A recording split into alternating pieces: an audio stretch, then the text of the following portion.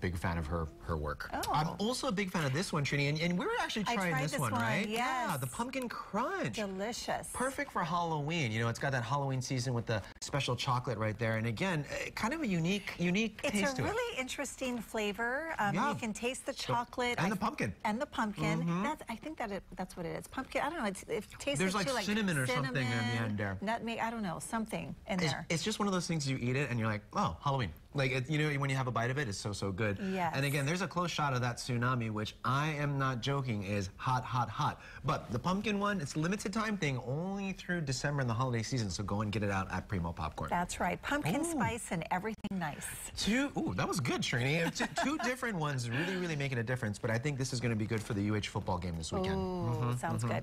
All right, well, you know, we love our Primo Popcorn. Now, if you want to check out these flavors or any of their other unique flavors, because they have so many, They do. all you have to do is head to the Primo Popcorn store on Sand Island Access Road. And of course, if you can't get their store, you live on the neighbor islands, hey, don't sweat. Well, you'll be sweating after this one. You can always click on their shop online at primopopcorn.com. Yes.